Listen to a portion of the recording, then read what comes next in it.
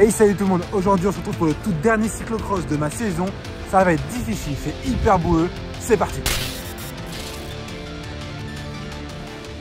Ça y est, on est sur la ligne de départ, le stress monte, on est un peu moins nombreux que d'habitude, donc ça va. Par contre, je suis en deuxième ligne. C'est très rare que je parte en deuxième ligne. Bon, ça s'est fait comme ça. Mais vous allez voir, le départ va être très particulier. Noémie m'avait prévenu, elle a fait la course juste avant. D'habitude, ils préviennent, ils disent 15 secondes, et après, c'est au coup de sifflet.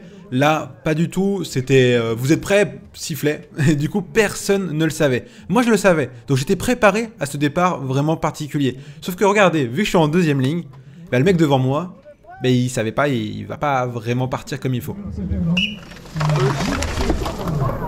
Du coup, ça fait que je prends un giga mauvais départ. J'ai jamais pris un aussi mauvais départ, je pense, niveau position. Je me retrouve directement, quasiment dans les dernières positions. On est une trentaine au départ. Je pense que là, je suis quasiment 25e. Et là, même si je voulais, je ne peux pas appuyer sur les pédales. J'ai trop de monde autour de moi. D'ailleurs, on voit la quantité de boue qui sont envoyées par nos pneus. C'était un circuit ultra boueux et on va pouvoir le découvrir au fur et à mesure dès cette première zone. Comme vous pouvez voir, du coup, j'arrive ultra tard. Mais bon, c'est pas grave, il nous reste encore 50 minutes pour remonter. Ici, on attaque une portion très très boueuse. Alors, on s'en rend pas vraiment compte à la caméra, mais regardez, entre ceux qui se prennent les balustrades et euh, la boue qui était très profonde et grasse, c'était ultra physique. Ça demandait vraiment beaucoup d'énergie. Donc, c'était assez difficile. Et ensuite, on avait une petite côte. On enchaînait avec la petite descente. Et pour l'instant, je suis tellement entouré par des adversaires que je peux même pas vraiment mettre à bloc. Regardez d'ailleurs, Emmanuel Morin, euh, coureur professionnel à Nantes, vient de tomber. Ça prouve que là, le circuit, il glisse beaucoup. Et là où depuis le début de saison, c'était pas aussi boueux par chez nous, eh bien, vous allez voir que les coureurs avec qui j'ai l'habitude de courir, on va tous avoir des, situations différentes, c'est-à-dire que être fort sur du sec, c'est totalement différent quand c'est boueux. Et moi, pour le coup, cette fois-ci, c'est bon. J'ai des pneus boue et je vois la différence, c'est juste monstrueux. Dès qu'on arrive dans des zones boueuses, mon vélo accroche direct. Franchement, c'est incomparable. Pour le coup, je me suis aussi échauffé avec les pneus qui sont pas pour la boue. Je faisais que de glisser, je pouvais pas euh, pédaler. Même dans les côtes, je pouvais pas monter les côtes tellement je patinais. Avec ces pneus-là, ça accroche direct. Donc vraiment hyper confort. Dès ce premier tour, je me suis dit, ok, c'est idéal. Là, on est bien. Maintenant, va falloir remonter des positions parce que ici, on est en 22e position. Comme vous savez, j'ai fait 26 et 25e pour l'instant. L'idée, c'est d'aller chercher un meilleur résultat. On passe dans cette grosse zone de boue, j'aimais pas trop parce que en fait au fond de cette zone de boue il y avait des cailloux. Et ensuite on enchaîne avec cette côte qui normalement passe en vélo, mais vu que là on est tous côte à côte, eh bien euh, les mecs devant moi décident de passer à pied, j'ai donc pas le choix, faut que je passe à pied. Ça fait monter un petit peu le cœur, mais c'est pas grave parce qu'après on enchaîne avec une zone assez technique qui par conséquent m'oblige à, à faire un peu baisser le cœur, à ralentir. Cette petite descente en premier, et ensuite on attaque avec cette côte, avec des escaliers. Alors là pour le coup personne ne l'a monté en vélo, à moins que je me trompe. Mais moi en tout cas c'était à pied. Et ce qu'il en est c'est que du coup après on enchaînait avec un sorte de single track. Et donc là on peut pas doubler et ce pendant un bon moment. Donc quand on est ici, on est vraiment bloqué. Et pour le coup, de toute manière, pour moi, ça va pas changer grand chose. Parce que c'est une zone où je vais pas être particulièrement bon. À chaque fois, je vais perdre du temps sur mes adversaires. Alors pourquoi, je sais pas. Peut-être qu'ils sont plus habiles que moi. Peut-être que j'ai pas pris assez de risques.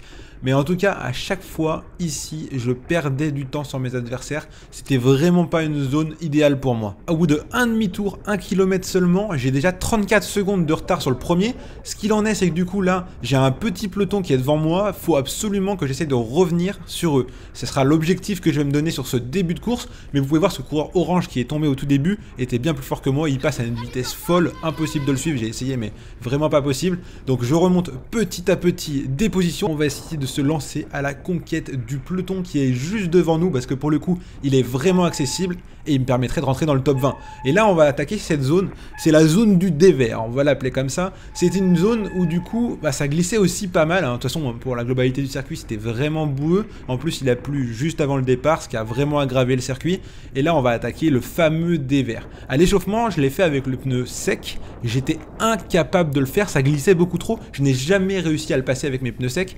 Avec pneus boue, regardez la facilité avec laquelle je vais réussir. Et encore, je suis pas aussi à l'aise que ce que je devrais. En fait, je tire un petit peu vers la gauche, vers le bas du dévers, évidemment, mais je m'en sors très très bien. Le seul truc, c'est que Je prends tellement pas de risque que je sors le pied. En vrai, ça passe largement, même euh, si j'avais pas retiré ma, chaussure. Là, je fais vraiment ça euh, en, sécurité, comme ça je tombe pas. Mais dans l'idée, ça passait vraiment bien. Hein. Tout le monde passait ici. Donc, c'était juste une question de sécurité. On enchaînait avec cette côte-là. Alors, elle, a paye pas de mine visuellement à la caméra, mais c'était ultra physique. Tout le monde était collé dans cette côte. Et à la fin, autant vous dire qu'elle va faire particulièrement mal. Et moi, je profite de ça pour revenir sur mes adversaires. Effectivement, je sais que techniquement, je suis loin d'être un spécialiste du cyclocross. Par contre, je sais que niveau puissance, je suis normalement valorisé. Donc là, comme vous pouvez voir sur la map en haut à droite de l'écran, il y a une giga ligne droite. Donc je profite de cette ligne droite pour essayer de revenir sur mes adversaires. Bon, par conséquence, mon cœur, lui, il monte, mais je relativise en me disant que de toute façon, après, il y aura une zone où je vais pouvoir récupérer. Donc regardez, ça y est, je relance, je donne mon maximum pour essayer de boucher le trou sur le peloton qui est juste devant moi. Regardez, il y a 4-5 coureurs qui sont vraiment accessibles, il faut absolument que j'aille les manger. Et des fois, quand on est dans la boue, regardez comme ici par exemple, on contrôle pas trop le vélo, bam, je me prends le, piquet, j'arrache euh, la rubalise. Je peux vous dire que des rubalises arrachées, il y en a eu plein pendant le parcours parce que forcément, je suis loin d'être le seul. Et forcément, la boue pousse rapidement à la faute, là où quand c'est sec, c'est incomparable. Déjà 1 minute 03 de retard sur les premiers, c'est juste pour vous dire que les autres sont vraiment dans un autre monde comparé à moi, non spécialiste de cyclocross.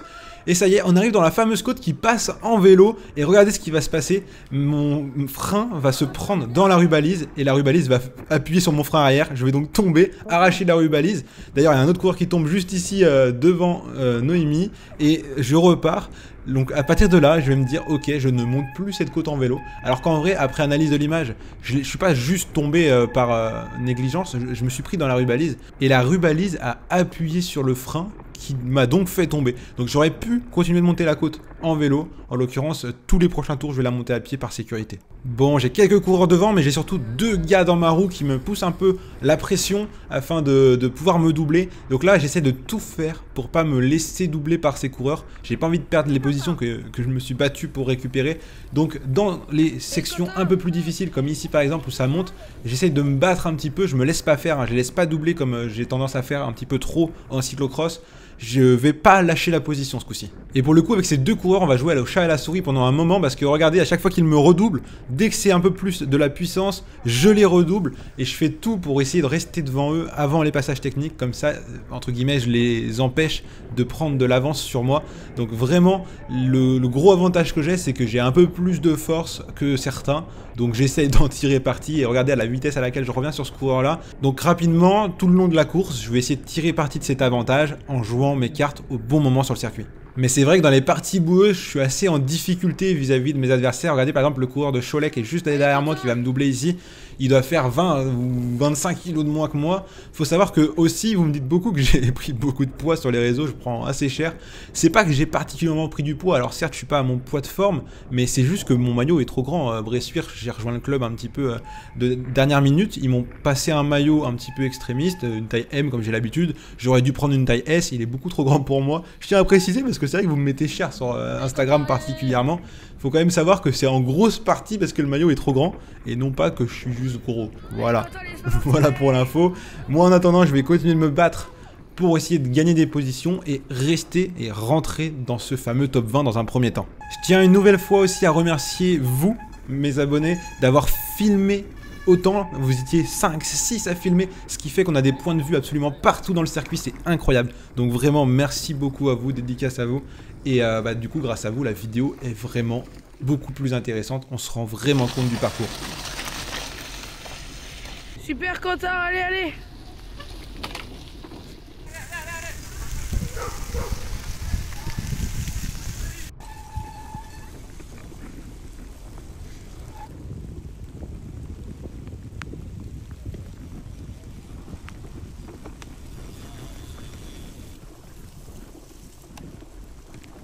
Ça y est, après plus de 20 minutes de course, j'arrive enfin à distancer les 2-3 coureurs qui étaient autour de moi. Maintenant, faut que je réussisse à prendre de l'avance. Je vais profiter de cette longue ligne droite pour essayer d'agrandir le trou. Mais maintenant, c'est un combat contre moi-même qui va débuter tout simplement parce qu'il n'y a plus personne derrière. Ils sont assez loin. Mais il y a aussi plus personne devant. Donc là, je suis actuellement en, 20e position environ et j'ai absolument personne à aller chercher. Donc c'est un peu plus difficile mentalement de se motiver. Quand t'as un mec qui est devant, t'as envie de te dépasser, t'as envie de le rattraper. Quand t'as plus personne tellement ils sont loin, et eh bah c'est un peu plus difficile. Que ce soit mon père ou vous, vous avez été tellement nombreux aussi à m'encourager. J'ai jamais vu ça. Hein. Vraiment, vous étiez très très nombreux. Donc merci beaucoup. Ça m'a vraiment aidé à, à maintenir euh, cet effort et à continuer de me dépasser tout au fil de la course. Quentin, allez, allez, super, allez, allez, allez. D'ailleurs, le coureur du pack qui était tombé en tout début de course, regardez, on voit qu'il est couvert debout sur le côté droit, va revenir sur moi à ce moment de la course, et malheureusement, il est bien plus fort que moi. S'il revient seulement maintenant, c'est vraiment dû à sa chute, donc c'est pour ça qu'il est beaucoup plus fort. Je vais essayer de m'accrocher à sa roue maintenant, même essayer de ne pas le laisser passer, mais malheureusement, en fait, il est vraiment plus fort que moi, et je vais même pas réussir à le suivre très longtemps parce que bah, j'ai pas la force. Déjà, au fur et à mesure de la course, je m'écrase, j'ai du mal à maintenir, donc je vais essayer de, m'accrocher pour euh, me contre moi-même. On est actuellement dans le cinquième des 7 tours que je vais parcourir. C'est pas le tour le plus rapide pour le coup. Vous allez voir que, en fait, j'ai mis 6 minutes 17 au premier, 6,55, 6,59, 7,15, 7,29, 7,37.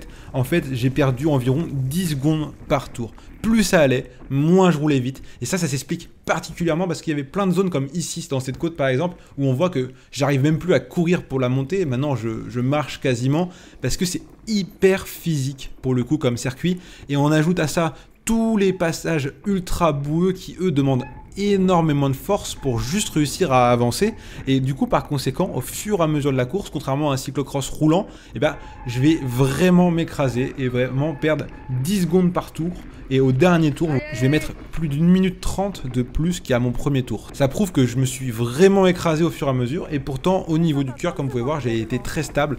J'ai fait plus de 180 de moyenne, donc ça prouve que je me suis quand même donné à fond, je me suis pas relâché sur la fin, mais c'est le jeu. Et d'ailleurs, vous pouvez voir, je suis passé P16, j'ai pas doublé du monde. En fait, c'est tous ceux qui ont abandonné, soit pour problème mécanique, soit pour problème, je sais pas, autre, et du coup, j'ai gagné des positions grâce à ça. C'est ça aussi le cyclocross. Il y a tout qui peut arriver, on peut crever, on peut casser des trucs, que ce soit avec la boue ou les chutes. Donc là, je viens de gagner 3-4 positions grâce à ça ça fait partie du jeu. Maintenant, on est à une place du top 15. Je vais tout faire pour essayer de revenir sur le gars de devant, mais pour le coup, il est vraiment loin et c'est assez difficile de se motiver parce que, bah, en fait, je le vois même pas à ce moment-là de la course. D'ailleurs, à 20 minutes de la fin de la course, à deux tours de la fin, regardez, le premier me double, Antoine Lécuyer, et regardez, il me passe dans la côte et je vais me dire, ok, je prends sa roue, je la lâche pas. Donc là, je vais réussir à m'accrocher dans la côte. Donc déjà, c'est un bel exploit parce qu'il est largement plus fort que moi. Et je vais me dire, vu que dans la grande ligne droite qu'on va avoir, il y a quand même du vent, si je pouvais rester dans sa roue à l'abri, ça serait vraiment parfait. Et ça me ferait gagner beaucoup de temps, et avec un peu de chance, il va me ramener sur le coureur de devant. Donc je vais prendre sa roue, regardez mon cœur est en train d'exploser, il monte ultra haut, et regardez ce qui va se passer, il y a un poteau que je vais pas voir, et bam, je tape le poteau, je ne sais même pas comment je suis resté sur le vélo, ma pédale a tapé en fait, et euh, bah, j'ai un peu plié le poteau je crois, et par conséquent ça m'a calmé, déjà j'étais à bloc, et le fait que du coup le poteau apparaisse un petit peu à la dernière seconde, ça prouve aussi que j'étais plus très lucide hein, quand j'étais dans sa roue, en fait j'allais un peu au-dessus de ma limite et ça m'a rappelé à l'ordre directement. C'est assez drôle en vrai que je me prenne le poteau comme ça euh, quasiment dans les 10-20 secondes après que j'ai pris sa roue.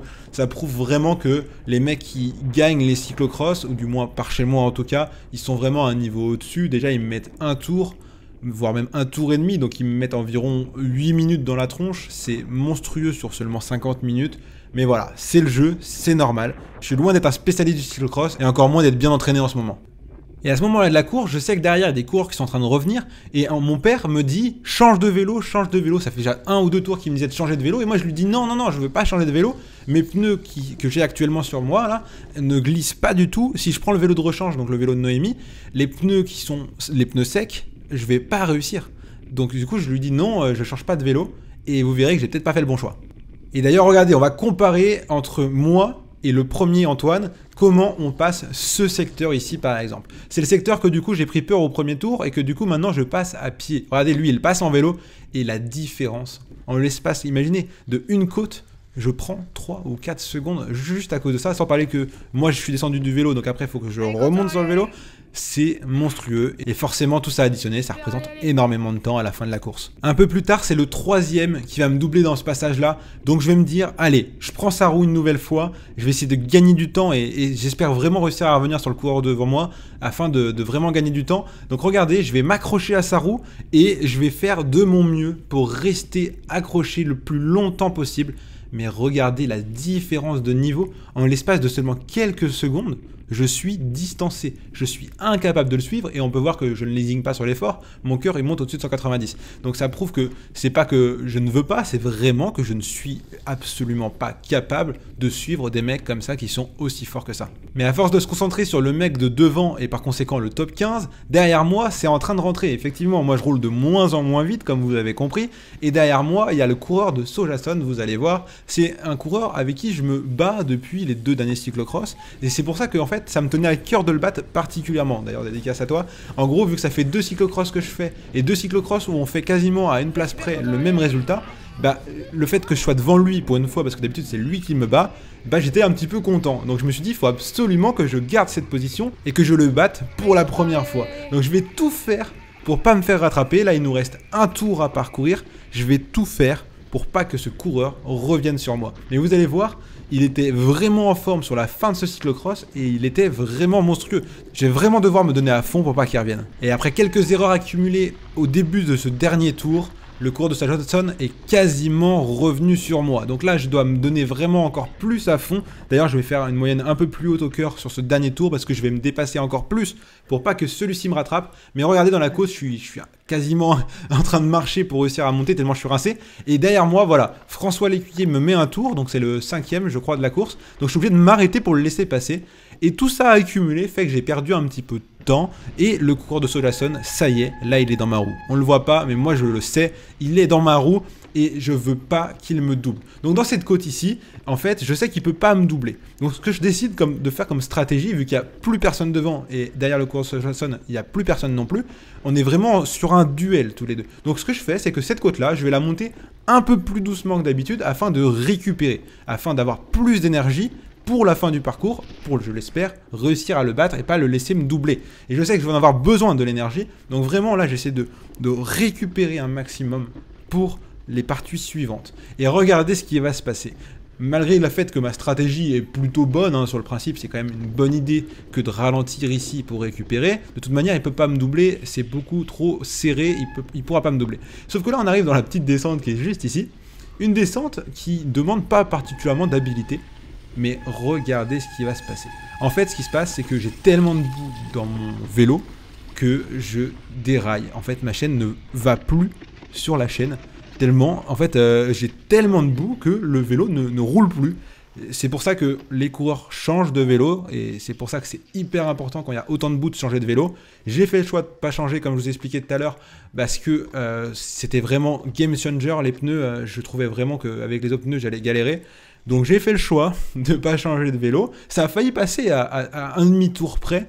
Euh, malheureusement, là, du coup, je galère. Faut que j'enlève toute la boue du, plateau. Parce qu'en fait, vraiment, il n'y avait plus de dents sur le plateau. Il y avait trop de boue. La chaîne, elle allait plus sur le plateau. Donc c'était impossible de rouler.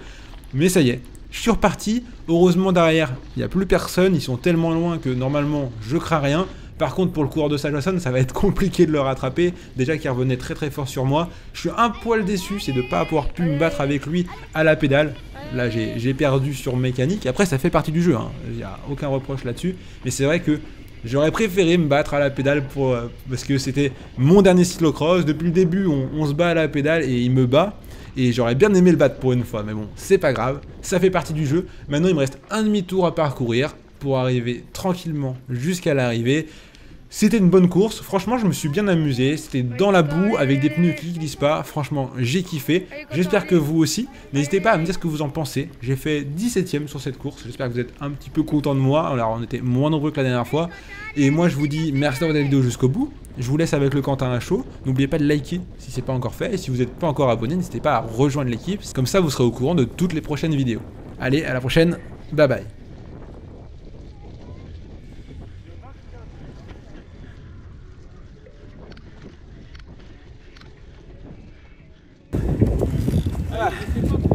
perdu une place bêtement en dernier tour, j'ai Trop de boue dans le vélo, je voulais pas changer parce que les autres pneus ils glissent trop. Du coup j'ai dit autant avoir trop de boue et, et pas glisser. Et du coup euh, bah, j'ai déraillé dans le dernier tour. C'est dommage parce que je me battais avec le mec avec qui je me bats tous les week-ends. Et pour une fois j'étais devant lui. du coup je voulais le battre à la pédale mais c'est pas grave, c'est le jeu. Ça fait partie de la course. En tout cas merci d'avoir regardé la vidéo. C'était le dernier cyclocross de la saison pour moi. J'en ai fait que 3 ouais. Et on se retrouve euh, très prochainement pour la préparation de la route. On va se retrouver avec l'ADN, des stages, plein de choses très intéressantes. Un nouveau vélo sur route. Bref, je n'en dis pas plus, à la prochaine. Bye bye.